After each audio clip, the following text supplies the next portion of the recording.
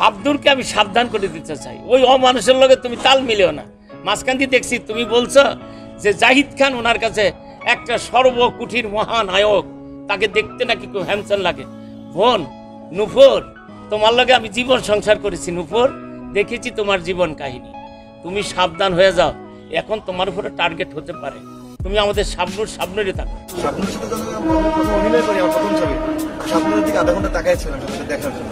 ধরে গিয়ে হাত ছড়াই ফেলছি। স্বপ্নের সাথে যদি গোড়া শক্ত থাকে তাহলে আপনার গাছ কিন্তু ফল দিবে। এবার নতুন গুঞ্জন।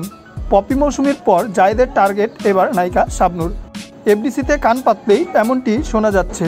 পপি মৌসুমী বাংলাদেশের সুনামধন্য দুই অভিনেত্রী। এই দুই অভিনেত্রীকেই প্রেমের জালে ফাঁসিয়েছেন জায়েদ খান। এবং এই দুই অভিনেত্রীর বাহিরেও যে কত অভিনেত্রীর সাথে প্রেমের সম্পর্কে জায়েদ খান জড়িয়েছে তার তো কোনো হিসেবই নেই।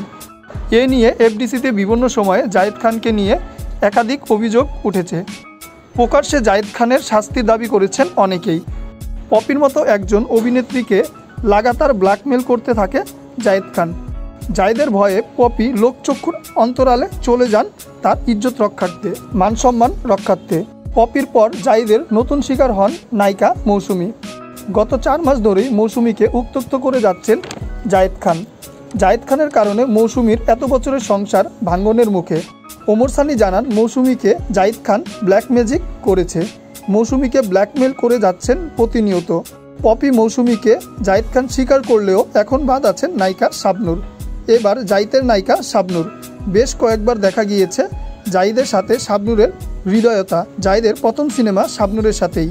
শাবনুরের নায়ক হয়ে বেশ কয়েকটি ছবিতে অভিনয় করতেও দেখা গিয়েছে জায়েদ খানকে।